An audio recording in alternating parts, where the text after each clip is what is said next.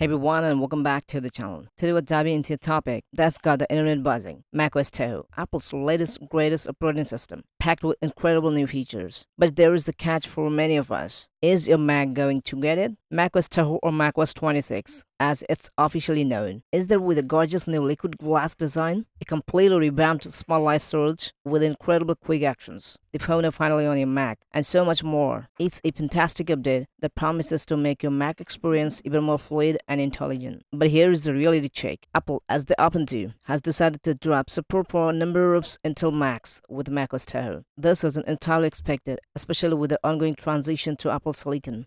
In fact, Tahoe is confirmed to be a final macOS release to support Intel Macs at all. That's a huge deal. So if you have an older Intel Mac, you might be feeling a bit left out in the cold. But beyond, because that's where the incredible community project Open Core Legacy Patcher or OCPL comes into play. OCPL is a fundamental tool that allows you to install newer versions of macOS, including the latest betas, on Macs that Apple officially deems unsupported. It essentially tricks your Mac into thinking it's a newer supported model, and then applies the necessary patches to make everything work as smoothly as possible. Now let's talk about the supported and unsupported Macs for macOS Tahoe, both officially and with OCPL. Officially, Apple's list for macOS Tahoe includes MacBook Air M1 2020 and later, MacBook Pro 13-inch 2020 for Thunderbolt port 3 ports and later, MacBook Pro 16-inch 2019 and later, iMac 2020 and later, Mac Mini M1 2020 and later, Mac Studio 2022 and later, Mac Pro 2019 and later. Now is a pattern here, mostly Apple Silicon, with a very select few Intel Macs. This means a lot of perfect capable Intel machines are now left behind, including some that only just lost support with Tahoe.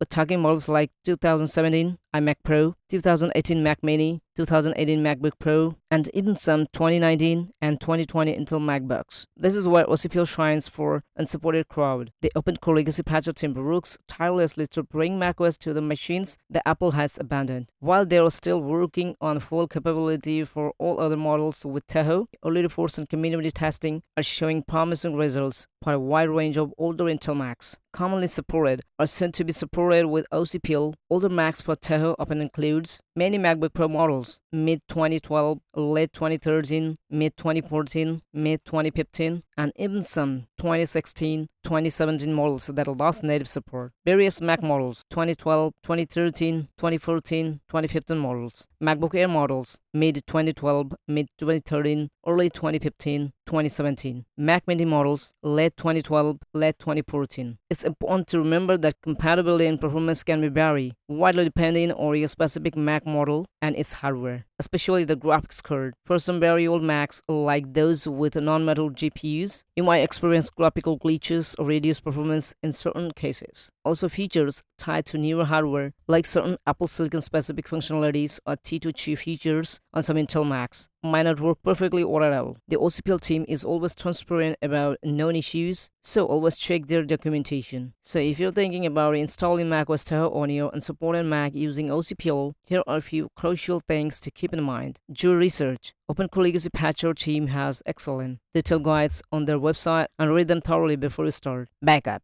This is beta software and you're installing on it unsupported hardware. Things can be wrong. Make a full time machine backup or even better, a bootable clone before you do anything. Expect imperfections. While OCPL is amazing, it's not a magic wand. There might be minor bugs, performance quirks, or features that don't work exactly as they would on a natively supported Mac. Community support. The OCPL community is fantastic. If you run issues, there are forums and Discord channels where you can find help. This is the end of the road for Intel Macs. Remember, Is likely the last macOS version with any Intel support. This means that while OCPL can extend the life of your current Intel Mac with Tahoe, future macOS versions, macOS 27 and beyond, are expected to be Apple Silicon only. Open Core Legacy Patcher is an incredible testament to the power of community and open source development. It breathes a new life into the older hardware, keeping e-waste out of the landfills and saving users money. While Apple is clearly moving towards an all Apple Silicon future, OCPL offers a fantastic bridge of those who us clinging to our beloved Intel Macs. Have you tried OCPL with macOS Tahoe Beta? Let me know your experience in the comments below. What Mac you're running it on? If you found this video helpful, please give it a thumbs up and consider to subscribe for more tech insights. Thanks for watching. I'll see you in the next one.